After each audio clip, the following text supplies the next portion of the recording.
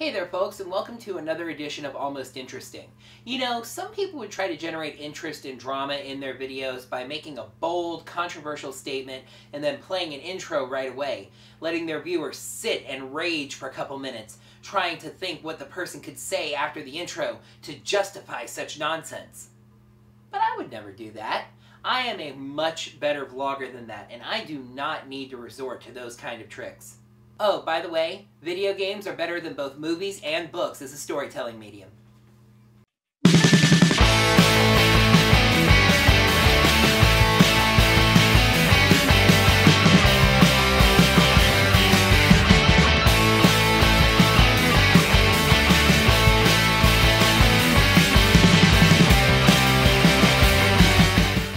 I'm sorry, I couldn't help it. Yes, today's topic is a little bit controversial. So why don't I explain what led me to talk about this? Last night, I threw myself into the Animus, slogged through the last 8 hours, and beat Assassin's Creed 4. Now, I had been a little naughty a bit before this and looked ahead at some plot points in the story and found out about a pretty major plot point that happens right at the end. Now, when I got to that point in the game, it still moved me. Why? Because I have been playing this game off and on for about two months now. Now, obviously not every day or even close to every day, or I would have been done a lot sooner than that. But the game just has such a well-written, long, detailed story. When you reach the end of it, you really care about Edward. And that's not just because you've spent so much time with him, but because you spent so much time as him. Sure, in the cutscenes it's third person, but during the game you sail your ship, you seek treasure, you fight other ships, you are Captain Edward Kenway. You see what he sees, you feel what he feels, you share in his triumphs, and you feel his losses in a movie, you're watching someone else do things in a much shorter time frame. I can't make Batman, for example, go left or go right or land on that building or that one. Batman's actually a great example because there's a direct comparison to be made. The recent Batman films are excellent. They do a wonderful job of telling a great story in a short time frame but I don't relate nearly as well to that Bruce Wayne as to the one that I helped set things straight in Arkham Asylum. Because I got to experience some of the things that are in his mind as him. Games are just the perfect combination of the visuality of movies and the length and narrative focus of books. And when you add in that interactivity that neither of the other two has, unless you count, I guess, choose your own adventure books, games as narrative are just unique. And I can already hear some of you going, blah, blah, blah, games are so wonderful and awesome and unique and deep. I bet you next he's going to say that games are art.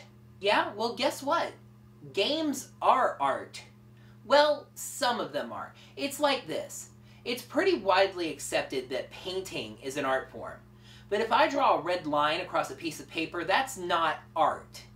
In the same way, games like Assassin's Creed 4 Black Flag are art. A wonderful story with beautiful visuals and engaging gameplay. Are there some video games that aren't worthy of being considered art? Oh lord, yes. E.T. for the Atari, Superman 64, Kane and Lynch 2. There are some truly terrible games out there. And even a game like Angry Birds is fun, it's good, but I think it's a little too simple to be considered art. But at the same time, there are books, pictures, movies that I wouldn't consider art either. I think some games not being worthy to be considered art actually helps the cause of gaming being considered an art form. But I do know that it's troubling for some to consider video games as art.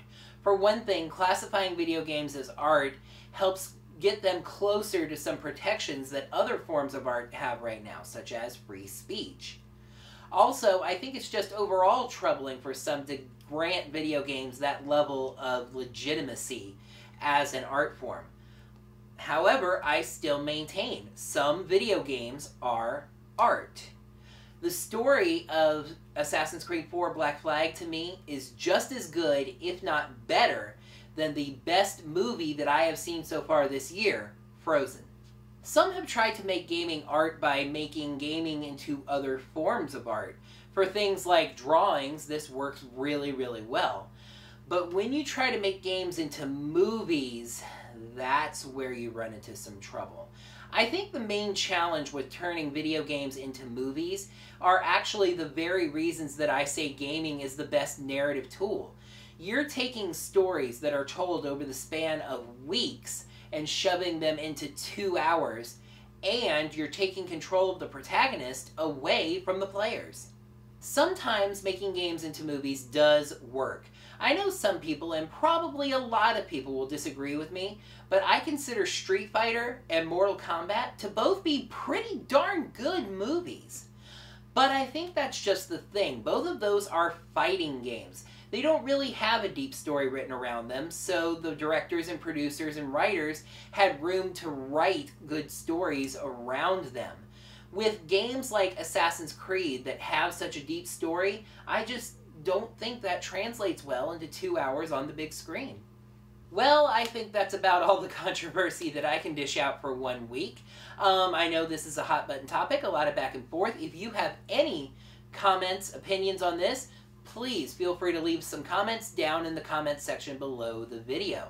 And actually, I have one other question that I would like some comments on. I am considering reintegrating my channels, bringing the Miami Sports Report and Almost Gaming back here to my main Sean Fowler channel.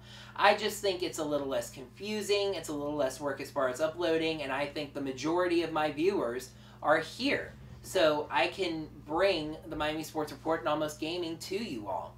If you have any comments about that, please leave me a comment down below and let me know what you think. Well, that's it for another edition of Almost Interesting. As I said, please leave comments down below, like the video, subscribe to the channel, and look for us on Twitter.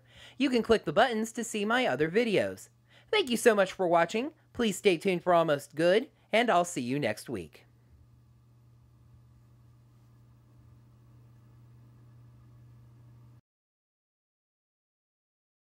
Why?